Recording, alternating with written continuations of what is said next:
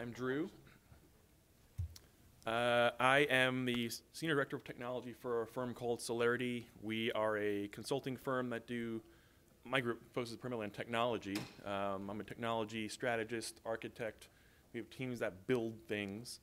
Um, and I, I, for whatever reason, I happen to have gotten heavily into the media world. So a lot of media publishers, you know, PBS, National Geographic, Gannett, Tegna, Time Warner Cable, you know, a whole bunch of publishers, um, you know, for better or for worse. Um, since we have a, an intimate crowd, I'd be happy to sort of poll the audience to see where your interests most lie, because I have a, a lot of stuff here. We can sort of focus more or less uh, on, on, on various pieces of it. So first, um, who kind of knows Django inside and out in this room? Okay, that's perfect. That's really good. Um, so we'll learn a lot about Django in this particular case. Who um, has attempted to crack passwords before? All right, good. We'll have some fun there too. Um, so let's just talk, first talk, why are we here today? Um, a few things I want to touch on. It wouldn't be here if we weren't going to touch on some Postgres. We're definitely going to touch on Django and Python. We're going to talk about one of my clients, National Geographic, and a specific set of projects uh, I was working with. We're going to do some black hattery, and that should be fun. And to set the stage, give a little, bit of a background for uh, what we'll do for most of this talk, I want to give you some background on, on this particular project. So, a few years ago, I was hired to basically redevelop a site for National Geographic. Uh, it, it was a reinvention or reimagination of a previous site called MyShot. Um, you know, thinking forward, it's now called Your Shot. And really, um, this was a photo community for National Geographic. That's a very photocentric brand. Um, they have lots of professional photographers out in the world taking really cool photos. um, Your Shot is a the community of amateur photographers who voluntarily, you know, upload their photos to um, this community. Um, the photos get shared. It's you know they get commented on. What distinguishes it from any other photo community is the engagement for the, the National Geographic editors and photographers. They are, I mean, there's, well, when we started this project, there was something like 350,000 users of the old site, um, and not much engagement from the, the actual Nat Geo photography community, the pro professional community. Um, this new site was intended to really kind of get highly engagement, which brought tons of new users to, to the site. So there's a few other things about this site. It's a beautiful site, mostly because the photography is beautiful. Um, there's, you know, very, everything else that stands out of the way. The thing I'm most interested here is the login portion, right? This tiny piece, tiny piece of functionality in the scheme of things, but really ended up being one of the more interesting uh, aspects. Um, and usually, I don't personally get hands-on in when I'm typing code in, you know, on these projects. This is one where I just had to because it was too much fun to do. Um, so users must log in, right? Uh, but we weren't actually building this site with the login like I would normally would. We're dependent on a single sign-on platform that NatGeo was building at the exact same time that I was building your shot. Um, so you know we have these two moving trains. Hopefully we're going to meet at the end. Um, that, that was one of the really sort of difficult challenges in this project. But in the end, um, your shot was going to be the very first integration on this uh, single sign-on platform called membership. Um, and here's some of the architecture of your shot. Uh, you know, at the time it was using Python 2 and Django. I don't actually remember what version. Um, you know, obviously Postgres as its core data data store. Uh, lots of Elasticsearch. We did some really interesting things with Elasticsearch in this project. Uh, you know, we're doing asynchronous uh, queuing with RabbitMQ, caching with Memcache. Akamai was their preferred CDN at the time. Um, and the, sort of the Python side, we're you know PsychoPG2 for uh, you know it's a Python library for connecting to Postgres. Uh, Pillow is uh, so there used to be a library called, as there still is, Python Image Library, which is PIL, which does a lot of really cool things for uh, manipulating images. Um, think like image magic and stuff like that. But it was a nightmare to install. So um, uh, guy Alex Clark, who I, I, know, actually repackaged it and called it Pillow. It's sort of a softer version of Pill. Does the exact same thing. It actually is Pill at its core, um, but it doesn't have all the headaches that Pill does. Uh, Celery is you know Python library for connecting, uh, really Django uh, connecting to uh, RabbitMQ, et cetera. Haystack for Elasticsearch integration. Uh, lots of social sharing happening on this site. Giga was the uh, platform we used for that. And there's all sorts of mapping going on. Uh, that was Mapbox for, for that. And just one quick piece about the architecture beyond that and how it all ties together. You see on the far right side of your screen a box called membership. That's really the single sign-on platform, and, and all these green boxes are uh, getting built at the very same time we're building the uh, orange and yellow and white and red boxes. Um, so our main challenge here was we had this legacy shot called, site called MyShot. It had 356,000 something users in it. Um, I had no idea what your MyShot was built in at the time. We hadn't really had much access into this database. Um, our challenge was to migrate 356,000 user logins into a new platform I, I didn't control, this membership thing, um, completely invisibly. Uh, and, and that was really a challenge I felt like you know would be fun to do, and, and it really was. So just to sort of set a little more context, this site was built originally about three, four years ago. Um, I've done multiple iterations since then, and it was a dedicated mobile experience was built. This, this talk is generally based on the experiences I, have been through uh, during this process. So where do we start? So I did get my hands on the actual original database, which we have an example of here. This is the users table. This is an example of the users table. Um, well, it was a Postgres database. That was interesting and, and, and welcome to, to learn. Um, the passwords are, are encrypted and, and follows this, this format, which at the time I was not terribly familiar with. Uh, I also found this thing, a Perl script, um, which seemed to be inserting user records into the database using okay? Um, again, for me at the time, that was somewhat unfamiliar because I'm used to using frameworks like Django, which kind of has its own way of handling passwords and, and, and things like that. So that's the starting point. Now, how do we get to uh, you know, getting these users migrated over? Well, the first approach that was recommended um, by our client, or actually wasn't the client, someone, maybe the client's boss, why don't you reach out to all your users? And by that, we really mean let's email them all and tell them we're moving to a new site and they should go here and like create a new password in the system. And that'll be great. And um, you know, our, our, our, the product owners basically just a simple answer, uh, no, that's not happening. Um, we're going to solve this completely seamlessly, no problem at all.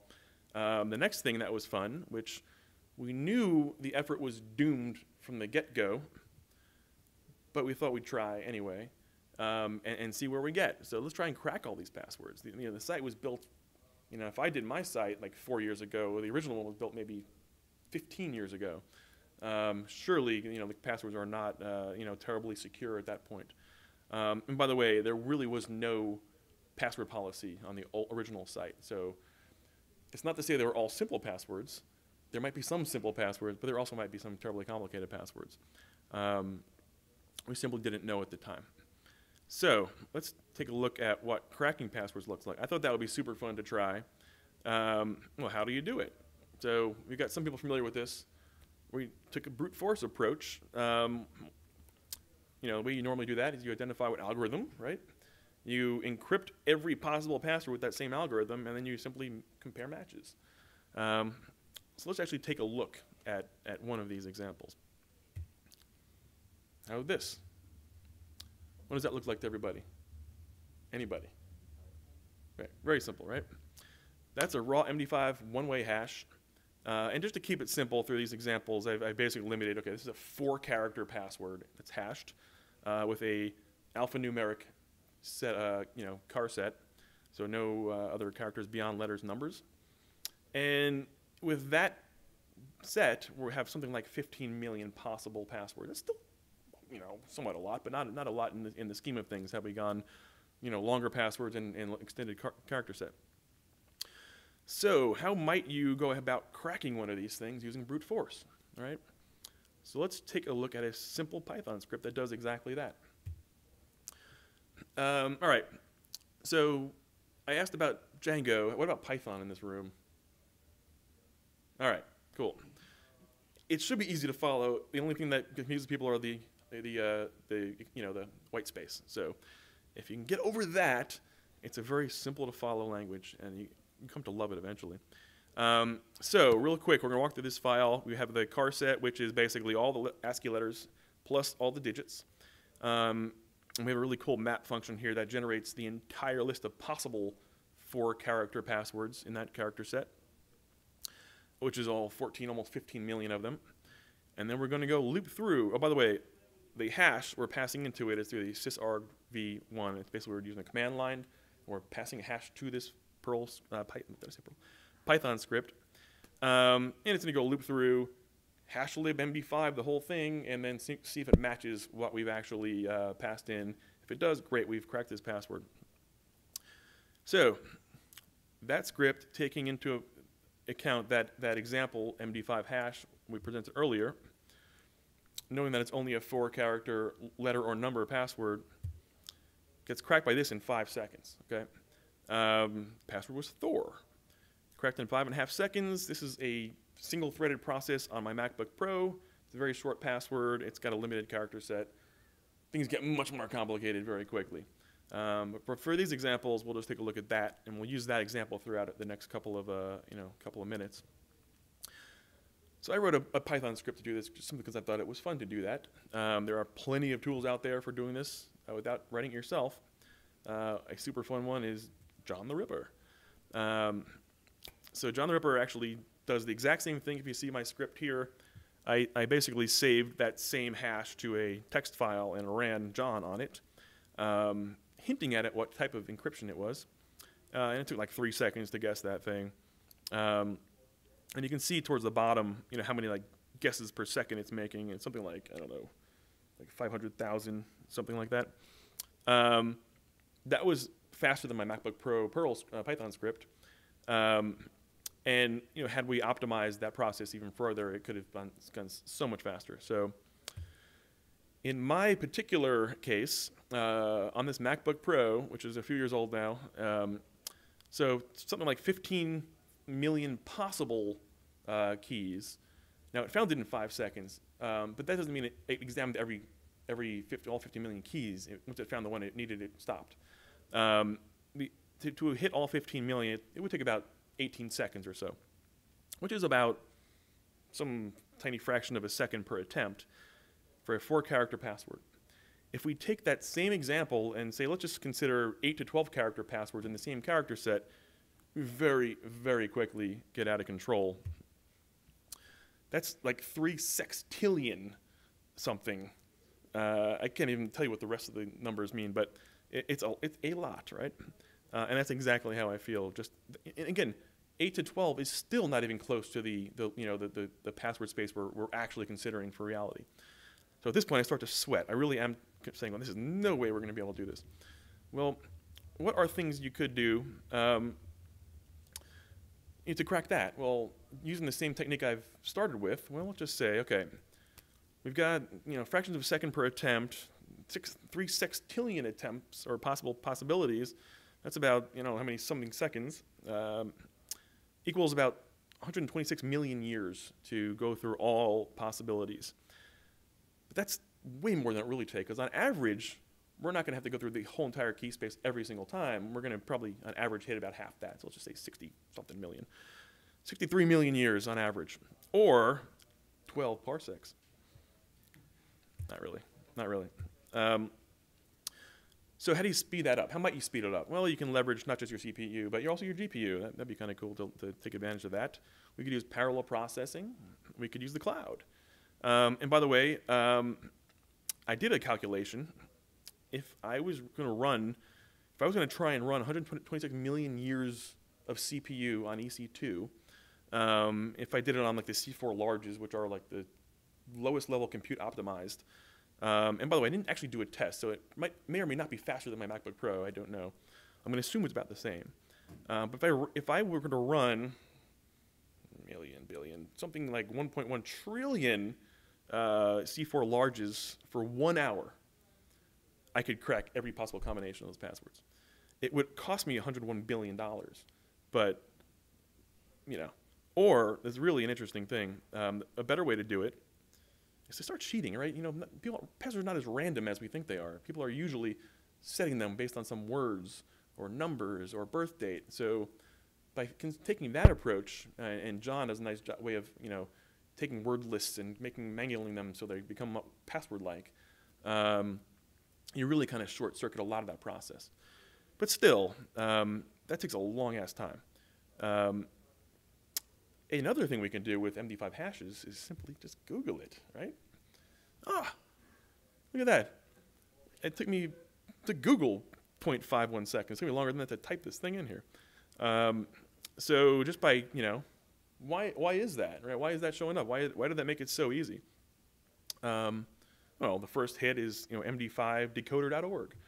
What does that look like? Well, you know, it tells me flat out Thor is hashed with MD5 is that string I've been interested in. Um, someone did that for me already. Uh, and the reason that, and you can see it does it for all sorts of other, you know, algorithms as well. Uh, and that list goes down, you know, way down. Um, this exists mostly because of rainbow tables, right? Um, people pre-compute all the MD5 hashes of just about every possible thing you could think of, and they just put it out there. Um, so, you know, you're basically reversing the cryptographic hash functions and basically mapping them. So hash to cipher or clear text. Um, Rainbow Crack's a pretty cool resource where you can buy all sorts of crazy, uh, you know, um, rainbow tables. And if I were to generate one, um, you would find something like that. So I have a, by the way, I have a GitHub repository. I just put some sample scripts in, and I'll send. Uh, there'll, be, a link to that here. It has, you know, Python scripts for, you know, gener generating rainbow tables, cracking MD5 hashes, uh, encrypting MD5 hashes, etc. Um, so this is the output of one of those scripts, and somewhere in the middle, you know, you see my Thor with my uh, my hash right there. Um, it's in there. So now it's a matter of not just trying every possible combination, you just need to look it up. Well, that's unfortunate. Um, but obviously, there's plenty of ways to defend against rainbow tables.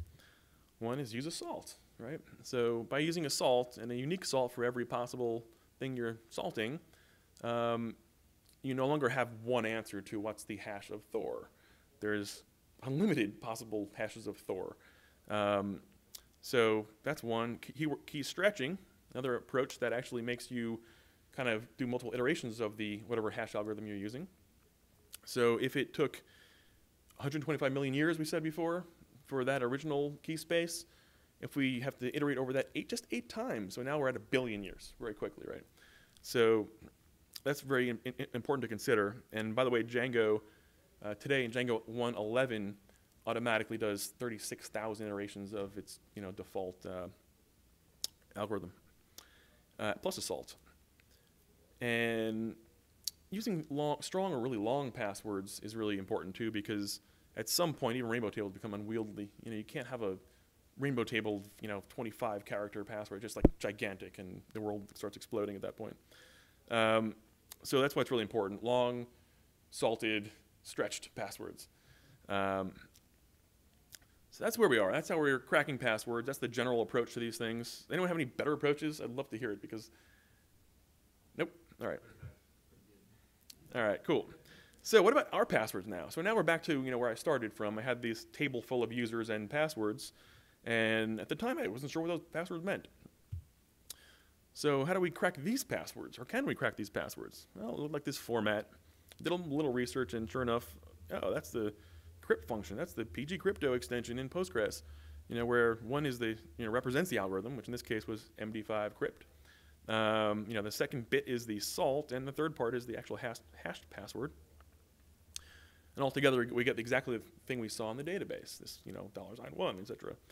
Um, so salted MD5 crypt hashed generated by the pgcrypt extension in Postgres, as we saw in the insert statement early on uh, in that Perl script. All right, let's go Google it. What? Not found, right? When you, once you salt something, it becomes very hard to have like a lookup table for every possible salt, for every possible combination of letters and characters. Uh, so right, that's not going to work. What about just using our same brute force approaches? Well, I take that same output, put it in a file, and run, run it through John, and well, actually did find it. it. It cracked it in something like, I don't know, minute and 37 seconds. Well, not terrible. That's only one. That's one password, and a very simple password at that. Um, so it, it is brute forceable, but still much slower than it had been before. And by the way, it has to do it a complete lookup for every single password because they've got unique salts. So um, about that point, we started giving up on breaking the passwords, even though however much fun it was. So let's talk more about some Django-based approaches. Um, well, the, the, first thing is when we're talking about authentication, let's consider a Django auth backend. So for those who are not terribly familiar with Django, Django is a you know Python-based application development framework. Does all sorts of different things. Um, use it a lot for for you know API backends for you know probably most popularly web-based applications. Um, database-driven web, web-based applications. One of its most powerful features is its uh, object relational mapper, ORM, um, which works really nicely with Postgres. Um, and I'll, I'll, I will admit to um, starting my Django career like tied to MySQL. Um, got deep into that world, and um, you know, people telling me Postgres is better. and my initial pushback was, but replication is so much harder. Um, well, it's not as hard anymore, and, and, you know it's a really great platform. So almost everything now I, I do is, is Postgres uh, with Django. Um, so Django has all sorts of pluggable and replaceable features, right? Um, it, it's it's a great framework, and it has out of the box lots of tools to do things so simply. Um, but any of those assumptions that Django makes can be completely replaced or extended very easily. So in this case, by default, Django um, has this one built-in auth backend, and it, it's going to assume that you are using a, a, a, relational database that has uses its own managed table of users called auth user, um, and that's going to map to its internal like what it, it assumes a user is. It's got a sort of a Django model or you know sort of definition of what a user is. Um, and that out of the box has lots of really cool capabilities and, and, and functionality. So we, most Django applications tend to try and use that. Um, so the default Django backend, you can see at the top here, it says Django contrib off backends model backend. That's the only one you see by default. Um, if you don't do anything, that's, that's what's there. And that just looks up in its own database when you enter a username and password. It calls the authentic, authenticate method, passing in username and password. And then it will look up in that particular table make sure you've matched the username and password, and return you yay or nay. Uh, that's basically how it works. So my approach here was to try and create a custom auth backend that replaces the built-in one, or actually not replaces, you can run them both. Um, so I, I, have both listed here. It tries the model backend first, and if that does not work, it tries the next one down the list, and so on. You can have really have as many backends as you want. Um, it only gets run when you're actually logging somebody in. It's not a occurrence that happens like every request. It's every, you know, it's time a new person comes, comes to you to log in. Um, and to write a custom backend really requires just two methods, uh, get user by ID and authenticate, passing in some credentials. And the credentials could be just about anything. It, you know, you think about username password, people log people in through all sorts of wacky things, cookies and, and, and other, you know, API calls and th things like that, um, tokens. So in this particular case, we're going to try and create, we're going to, we're not going to try, we're actually going to do it, um, to create a Django auth backend that uses this legacy database, right? So let's just assume, there's all sorts of ways we could, could consider doing this. Um, let's assume I've taken that users table from the old legacy platform and just simply put the same table in my, my database application. And call it legacy users. And I have username and password, nothing more. Um, if my user login succeeds by you know matching that username and password, we're going to let the user in. Um, so the first thing we're going to do is we have to implement get user. So it's going to be simple. Now we don't have to do this, but I'm going to in the authenticate method, if my username and password matches and succeeds, I'm going to create an actual Django user record in my database because I want to use that user model so much. It's just so handy. We have to have a record to at least do that. But we're not going to use it for logging in with this model, with, with this backend. So we're, when we're getting the user, we're just going to do the normal lookup, you know, using the user model and get by ID, okay? Or fail if user does not exist. So that's the easy one. Um, the second one, now we have, to, we have to implement the authenticate method. Well, it, it's fairly straightforward. It's kind of like we're taking that what that Perl script would have been doing if it was matching people and just doing the same thing in our database. Um, so it expects a username and password. We're going to validate against this legacy database using the PG crypto crypt method. Uh, and you know, and really the query we're kind of running, Django's going to run, it looks something like this here. Select one from legacy users where username is what I pass in as username, and password equals crypt password with the database password. Um, and you guys are, might be more familiar with this, but you know, the, the I'm, I'm just using whatever the database has as its password into the salt, which is really the first part of that, uh, the password anyway. So the, this is going to, crypt is going to extract that out of there and, and salt it with whatever the original salt was. So what that looks like here in Django is, um, let's see, so we've got basically authenticate method, I'm making my database connection. Um, we're running that particular command, right? I've passed in username and password into the method. We're going to execute and try to fetch one record back. If I have a record when I'm done with that process, um, I'm going to actually try and get the user if it exists in my database, or I'm going to create a new user. So you see towards the bottom, user equals user and username equals username. Um, I'm creating a set unusable password. Um, this is a way that I can never use this particular table to actually log anybody in. Um, if I didn't specify that, it would leave a blank password, which actually is a totally valid password, not at all a safe one. Um, but Django has this notion of unusable passwords. There's certain characters you can define that make a password unusable, um, and this is what it actually generates. So save the user, return the user, we're done. And what that looks like I, let's see, look at my tables here. So I have legacy users and I have auth user. If I select star from legacy users, I see my two uh, favorite musicians right there and their passwords. This is the legacy table, right? We're going to see I start, this is my Django admin interface, the users list. I have one user, that's me, and no other users. So after I implement my auth backend, which really is a matter of the code, exactly the code you saw, and I activate it in my Django settings file, um, which you saw in the first thing. You saw those two model backends. Um, I can now try and log in as King Buzzo with my favorite four-character password, and it'll actually let me in. Sure enough, I see my my Django admin. By the way, this is Django admin interface. It's something you get kind of get for free with Django. Any you know, just ability to query your database and every all, all the fields through a web-based interface. Um, so we see King Buzzo as the username, and I have no password set. Um, that's actually the same thing it would say if it had just a blank password um, or never set the password. In this case, it is unusable, and I, I show at the bottom here what the password actually looks like. Um, it's got this like, you know, I think a pound sign at the beginning, which is the, the defined unusable password starter. And then I think there's like something like 40 characters after that. That's your, that's your unusable password.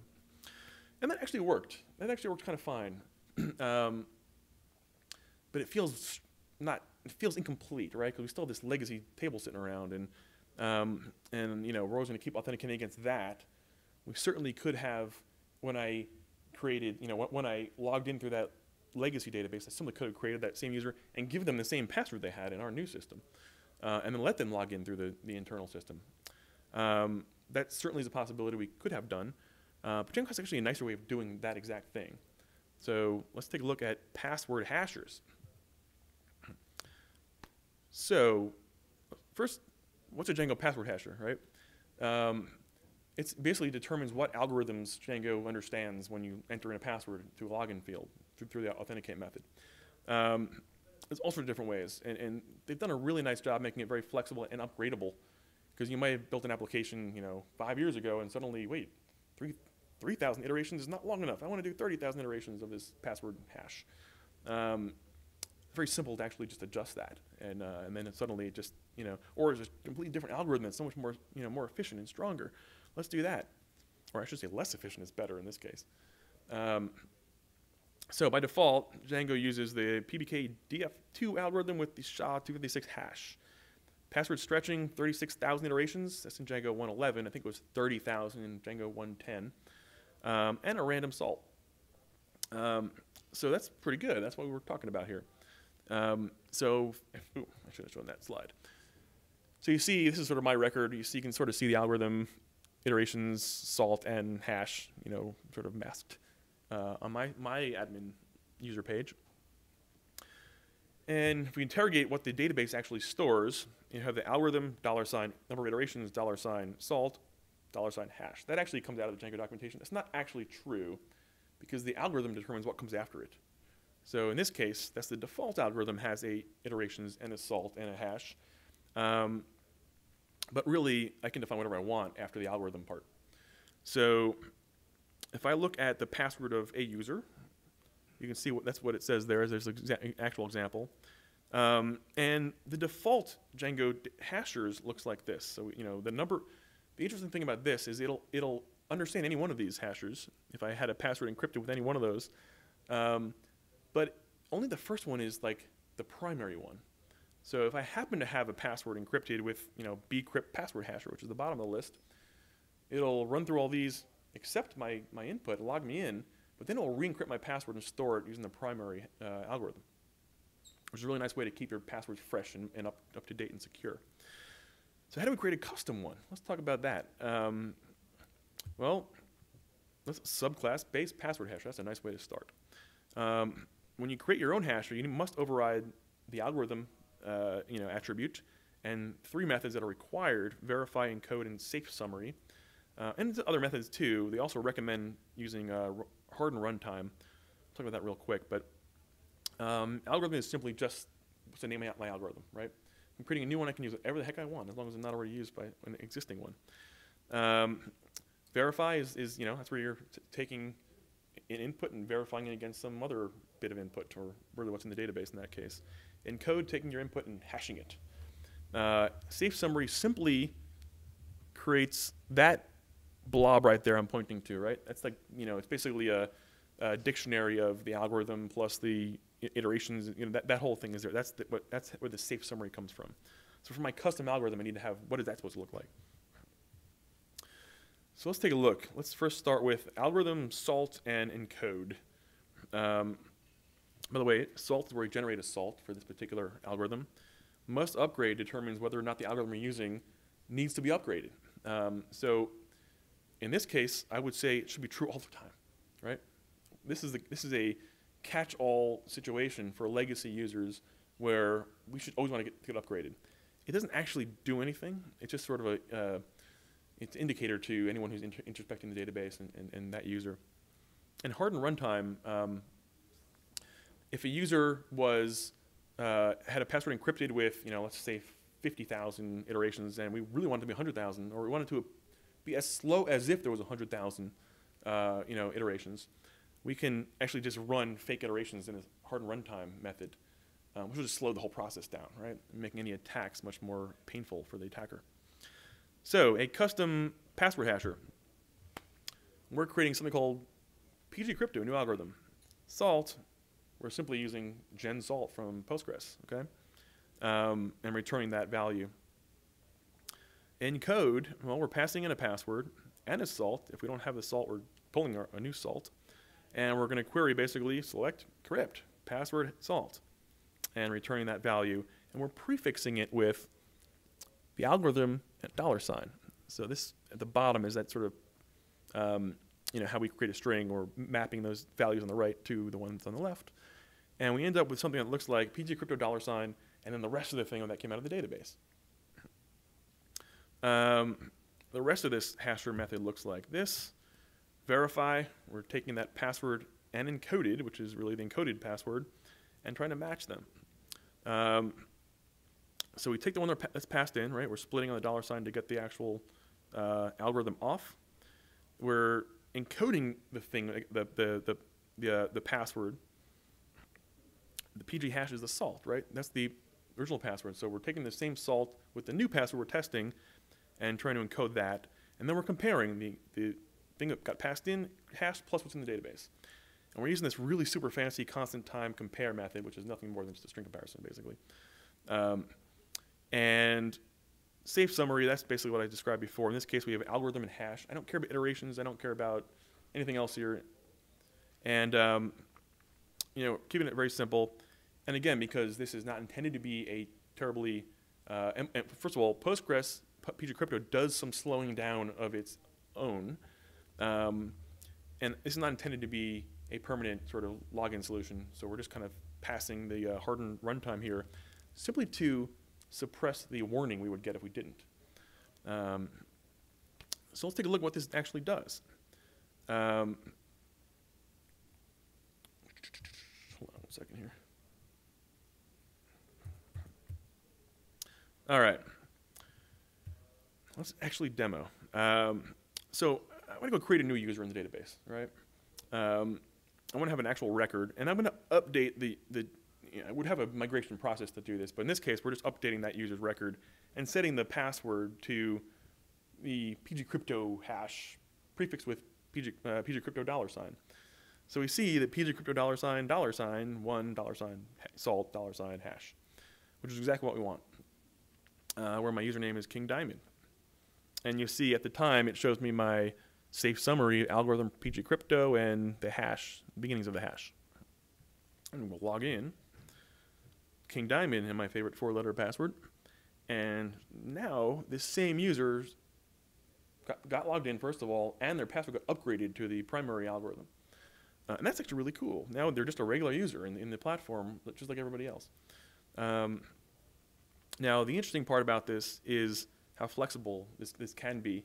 Um, we built this very specifically for one project, uh, you know, and it worked very well. I was able to, but I, but I didn't own that code base. That, that, that SSO platform was being built by someone else. Um, but I wanted to do this. So basically, rather than saying, here's some code, like just figure out how, how it works, um, wrote this up as an open source library and packaged it up. Know, it's in Python, you know, uh, repository. And so here, use this library. And I pretend that I didn't really create the thing, that something that everyone else uses, and they should use it too. Um, and they did, and it actually worked completely seamlessly. Um, we got them all migrated. Well, we migrated them with the PG crypto sort of hashes, and anyone who logged in had no, you know, had, all they saw was a nicer looking site and more functionality.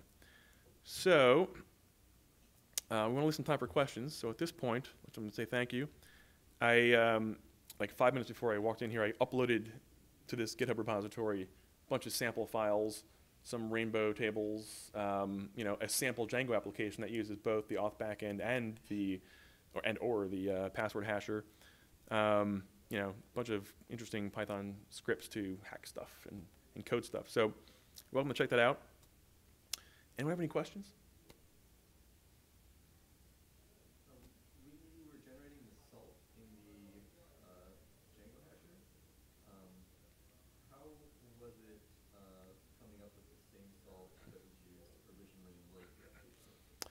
Um, it's a good question because I actually didn't need to do that. I, I, I, really don't ever need to call that salt method in this particular case because we're only ever really comparing it to what's in the database, right? So the salt for mm-hmm. verification should always be what's in the database, right? Um, that's what we're going to use as to salt everything. Now to make this, since I open source it so people can use it, and they can use it as their primary thing if they wanted to, um, we needed to support the whole uh, interface, including general, GenSalt. So if we were creating, if we were creating a new password, we would use GenSalt and then use that as the salt for it. Yes, exactly. So we'll see. Um, let me see if I can. Uh,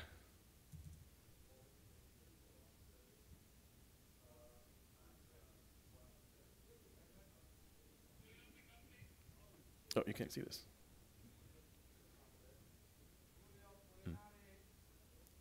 There we go. All right. Um, so for verify, right, um, we're basically using, we're, we're taking a password, right, and it's also like matching what's in the database password field. okay? So for what's in the database we called encoded, um, we're chopping off the PG hash, which is the secondary piece of it minus our algorithm, okay? That's what's in the, the Postgres database by, to start.